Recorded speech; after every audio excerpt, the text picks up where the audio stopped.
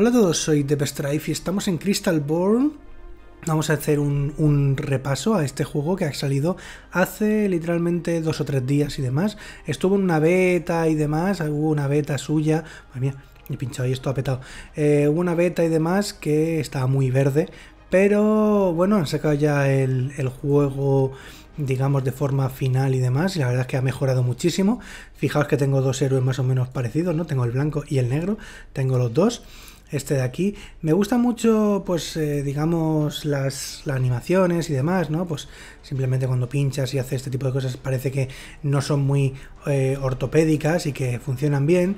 Más o menos hay algunos héroes que, mira, esta está en la puta ama, que están bien. Lo que pasa es que no veo cohesión entre ambos, ¿no? Quiero decir, este tío, ¿qué hace con, yo qué sé, con la planta esta? ¿O qué hace con el, el bajista de, yo qué sé, de cualquier grupo de rock o qué hace con el tío este del StarCraft 2, ¿no? Es como no sé, no veo mucha cohesión entre los héroes, aunque por separado están chulos. Mira, está el Doctor Strange, pero que tenía artrosis y tuvo que cambiarse las rodillas por unas metálicas y demás. Esta tía está muy bien.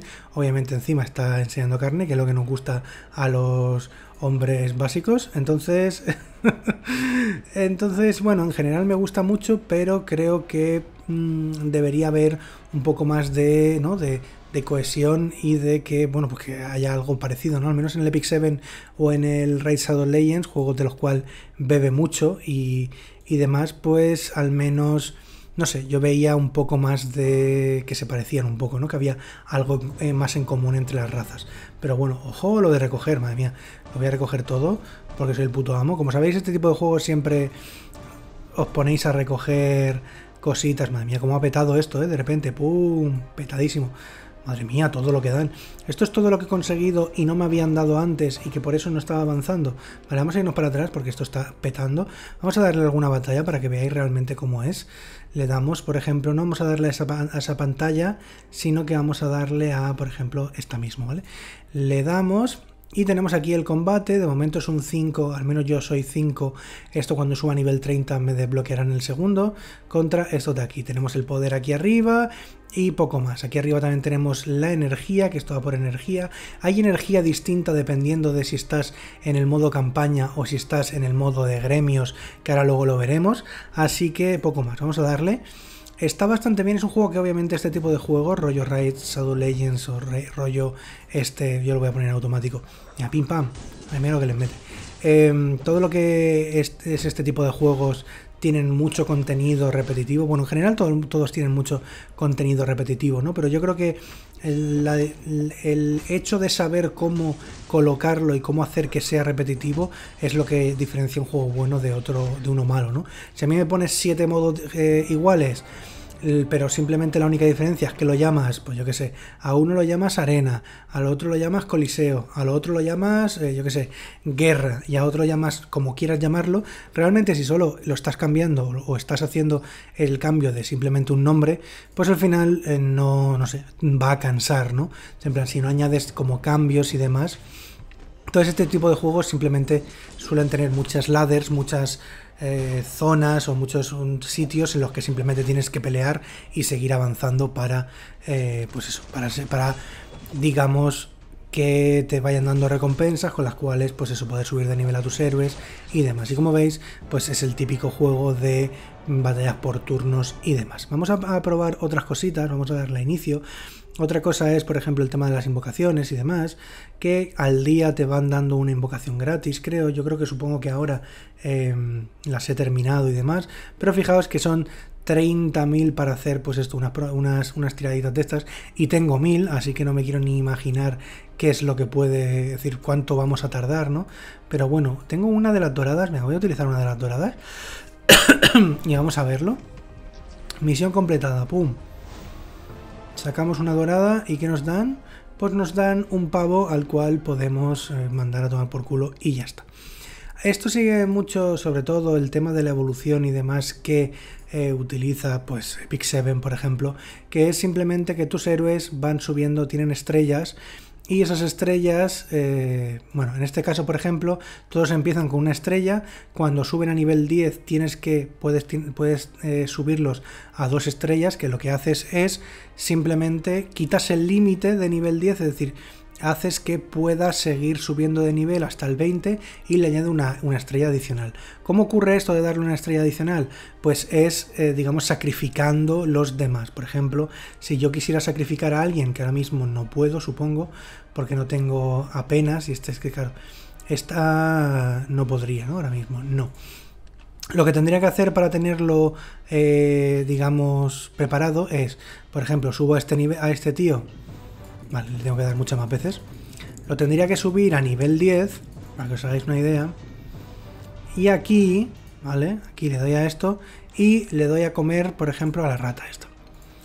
Así ya está a nivel 2 estrellas, tiene 2 estrellas, está a nivel 11 y demás. Y hago lo mismo con este tío, por ejemplo. Le damos dando y lo subimos a nivel 10 una vez lo subimos a nivel 10, lo subimos a 2 estrellas. ¿Para qué queremos tener dos tíos random a 2 estrellas si no lo vamos a usar? Porque cuando, por ejemplo, esta tía que está a nivel 19, cuando suba a nivel 20, vamos a tener que darle dos tíos como sacrificio, ¿vale? No saldrá por aquí, pero vamos a tener que darle dos eh, tíos random como sacrificio. Ojo, tengo mil, mira, vamos a hacerlo para que lo veáis y así lo veis. ¿Vale? He conseguido 32.000, entonces a esta tía la subo a nivel 20 y le doy a subir de nivel. Y aquí necesitamos 60.000 y dos eh, huecos o dos, tenemos dos huecos para poner dos tíos a nivel eh, o de, dos estrellas. ¿no? En este caso tengo cuatro porque ya me había dejado preparados estos dos y no me acordaba, así que le damos y subimos a nivel 3. Obviamente todo esto va incrementando, en plan si yo quisiera luego cuando tenga que subirla a 4 estrellas, tendré que sacrificar a tres tíos de 3 estrellas, ¿no? Esto es como en la mayoría de juegos de aquí. Y si vemos otro modo de juego, tenemos el de gremio, ¿vale? Este es el modo, entiendo, más entretenido, entre comillas, y lo que hace es que, bueno, todo esto, todo esto de aquí, los distintos colores, son gremios distintos, es lo que más o menos he entendido. Entonces, si vamos bajando, bueno, no, vamos a subir, un momento, vamos a ir pinchando, eh, vale, no quiero pinchar tanto, eh, vale, todos estos, digamos que cuando, por favor, digamos que cuando te... Vale, pues no me vas a dejar cuando entras a un juego o cuando juegas a, este tipo de juegos por primera vez, te meten en un gremio, ¿vale? Es decir, tu servidor es un gremio entero. ¿Qué ocurre con este servidor? Que obviamente, bueno, todos los que entréis en el mismo servidor sois aliados y os enfrentáis a otros servidores, ¿vale?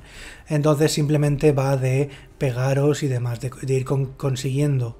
Lo que pasa es que no me deja, no entiendo por qué no me deja. Bueno, esto sería lo más grande y esto sería acercar al centro, no, esto más, acercar al gremio, pero ¿por qué no me dejas ahora acercarme más? Bueno, pincho y ya está. Vale. Mm, pincho más cerca y aquí, cuando cierro, bueno, no sé por qué no me deja ahora mismo, pero me tendría que dejar acercarme y ese tipo de cosas. Igualmente, pues en las cosas, en tus estructuras, por ejemplo, que son de tu gremio y demás, puedes añadir tus, eh, tus propios héroes para que defiendan esa estructura y demás. Y por ejemplo, yo si quiero atacar, vengo aquí, que Roy, vale, ya está, que Roy es el equipo enemigo o lo que sea y nosotros somos estos, ¿vale? Aquí hemos puesto defensas y demás. Ahora, pincho, no sé si me va a dejar atacar realmente. Batalla 70.000, ni de coña puedo, ¿vale? Tengo que buscar una que, bueno, esta por ejemplo sí que podría, pero no está no es contigua, ¿no? A mi a mí esto. Tendría que buscar esta tampoco seguramente. 29.000. Aquí sí que puedo hacer algo, ¿vale? Entonces, por ejemplo, pincho en esta, 29.000. Vale, me quedaría una hora y pico. No sé si quitándolo puedo meter otros. A lo mejor puedo meter... Ah, mía. Ah, no, estos no. Si meto a esta gente... 18.000 y meto a este tío 23.000, no creo, ¿no? Que me deje 28.000. Vamos a darle, no va a ser posible, pero bueno, así os lo enseño. Que es prácticamente lo mismo, simplemente que si ganamos conseguimos la casilla y ya estaría, ¿vale?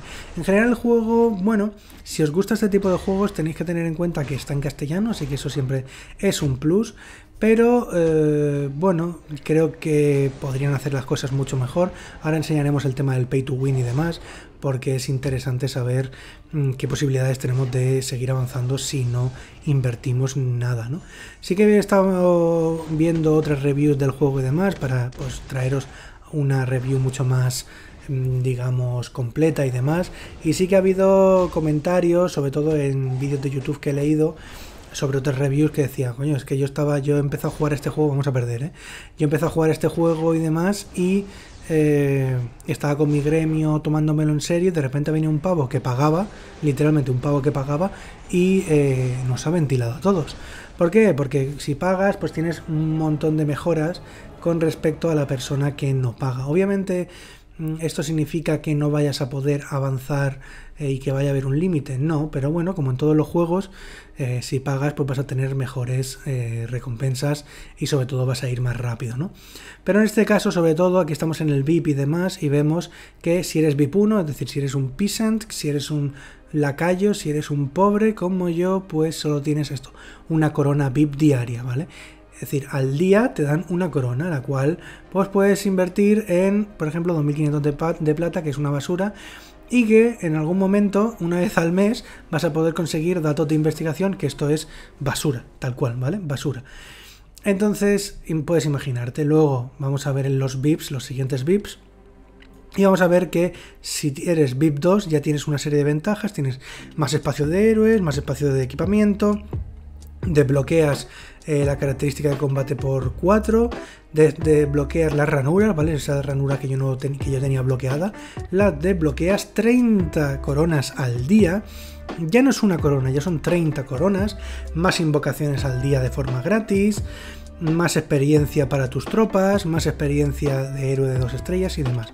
Y así cada vez que pagas, aquí te dan incluso llaves para, digamos, eh, mejor equipamiento, te dan una serie de cosas que obviamente si no pagas, pues no vas a tener, o al menos no con la rapidez que podrías llegar a tener, ¿no? Mucha más experiencia, 200 coronas diarias, es decir, el VIP 4, es decir, un tío que, que ha pagado el VIP 4 va, en cuanto a coronas, 200 veces más rápido que yo. ¿Vale? Es decir, yo necesitaría 200 días para comprar lo que él podría comprar en un único día, para que veáis eso. También está el tema de investigación y demás, que está muy chulo, esto sí que me ha gustado bastante, porque simplemente es ir investigando, investigas tu nave, la nave es la que te lleva a distintos sitios y te da distintas cosas, como puede ser pues una mejora de bonus en cuanto a gemas, otra en cuanto a plata, porque si fijáis, si le pincháis aquí, por ejemplo, cuando esté preparado y demás, pues os van a dar beneficios, ¿no? Van a dar plata y os van a dar gemas. Tampoco van a dar una locura, pero bueno, y esto lo vais a poder ir subiendo sin más, ¿vale? Conforme podáis y tenéis el coste que necesitáis, pues pum, le dais. El problema es que también es eh, pay to win, ¿por qué? Porque necesitas esto de aquí que es la llave de mejora del módulo del 1 al 2 y obviamente pues necesitas pagar para obtener todo esto. Entonces ya te, te, estás dando con un bloqueo, ¿no? Es decir, es algo que no vas a poder conseguir si no pagas. Entonces, cuando el pay to win o cuando el, VIP es tan agresivo como puede ser este, eh, al final se, al principio puede ser divertido, pero luego se quitan un poco las ganas de jugar. Y aquí es lo mismo, el tema de la investigación, tú pinchas, aquí puedes investigar todas estas cosas, ¿vale? Las 8 cosas, si no me equivoco, 1, 2, 3, 4, 5, 6, 7, 8 cosas que hay eh, alrededor y una vez consigues las ocho cosas que hay alrededor, esto lo crafteas de forma gratuita y te da pues eso, más 2 de velocidad a todo el mundo y demás. Buenas mejoras y demás. Esto me gusta mucho porque es algo que da progresión visible, porque puedes todo, prácticamente todo lo puedes ir eh, mejorando y eso da mm, buena progresión. El problema es, pues obviamente, cuando eh, no puedes avanzar porque necesitas algo del VIP. Y por ejemplo, para que os hagáis una idea, también está esto de aquí que son el tiempo. Esto también me ha gustado bastante, que es que conforme vais avanzando os van dando tiempo. Este tiempo de aquí lo podemos canjear en las investigaciones. Por ejemplo, que me faltan 31 minutos y 5 segundos para terminar esta investigación, pues lo acelero. Se me resta del tema de las investigaciones y demás, pero bueno, también está para gastarlo, ¿no? Y entonces lo mismo, si yo quiero investigar esto, pum, lo investigo. Que quiero acelerarlo, pum, le doy y lo acelero, ¿vale? De 30 y pico se me ha quedado en 16. Y luego este, pues es lo mismo, ¿vale? Para el tema de la aeronave. Yo si por ejemplo quiero venir, que lo voy a gastar ahora todo para que lo veáis porque eh, no pienso jugar más el juego. vale, esto está a punto de terminar, lo aceleramos, nos quitamos los 16 segundos y ahora vamos a darle todo lo que podamos. Pum, aceleramos 22 minutos. ¿Qué más tenemos? Terminando, 0 segundos, por favor. ¿Se ha bugueado esto o qué? Vale. Y le volvemos a dar 33 y los aceleramos. Vale. Y eh, bueno, ah, no, solo se acelera un poco. Entonces, ¿esto para qué es? En propiedad, tiempo de relación para usarse para completar eh, los temporizadores de investigación y de mejora de aeronave, que es esto de aquí, ¿no? Lo estoy mejorando. ¿Y por qué me está quitando esto de aquí en vez de lo otro? No entiendo nada. Vale, ahora me lo está empezando a quitar. Vale, pues vamos a gastar todo. Mira, una hora y 43. Patapum. Lo quitamos. Entonces, este, este sistema sí que me gusta mucho y te va, pues eso, subiendo eh, la cantidad de plata que te dan y demás, la capacidad y demás. Entonces, está bien que haya pues este sistema, ¿no? Simplemente para que con el tiempo, si no te apetece jugar mucho tiempo, pues puedas incluso notar ese progreso porque entras a las 8 horas y dices, oh, plata, pum, eh, diamantes, tal. Y entonces puedes seguir progresando con ese tipo de cosas. Pero en general, y ya para terminar, bueno, tenemos la arena. Aquí tenemos tres tipos de arenas distintas, que es lo que os he comentado. Arena gresca de red, de red eh, clandestina y arena del gremio. Y realmente todas son eh, pégate contra un pavo y ya está, ¿no? Entonces es como... Mm, ¿Qué me estás queriendo decir con esto? Es decir, me está dando muchas más posibilidades para que pienses, para que yo piense que tienes mucho contenido, pero realmente es un contenido vacío porque al final no estamos decir, al final es lo mismo, al final es una pelea tras otra, me, aumenta un número, me baja otro, pero al final eh, no dista de, ser la campaña. Es decir, si tú ahora mismo ves esto, ni siquiera el, digamos, el escenario cambia, ¿no? De un lado a otro. Entonces es como, vale, estoy en la campaña, estoy en la arena, estoy en el gremio, ¿dónde estoy? Eso sí que es algo que tienen que cuidar un poco más, ¿no? La variedad de escenarios y demás, y sobre todo, pues, la variedad de modos distintos, no modos en los que eh, tú me estás diciendo que es distinto porque sí, pero al final es un combate uno contra uno, los mismos de, siempre, no, algo distinto, ¿no? Un rollo, no sé, algo que requiera un poco más de no sé, ya, no dificultad, pero sí que pues que, que, no pienses que estás haciendo todo el rato lo mismo, ¿no? Y esto de aquí. Luego el tema de eh, que también está por aquí, el tablón de recompensas. Esto sí que es, cambia un pelín, simplemente es lo mismo de siempre, ¿vale? Fijaos todo esto, pero con algunas reglas, ¿vale? Por ejemplo, son los renegados del eclipse y eh, Verdoso.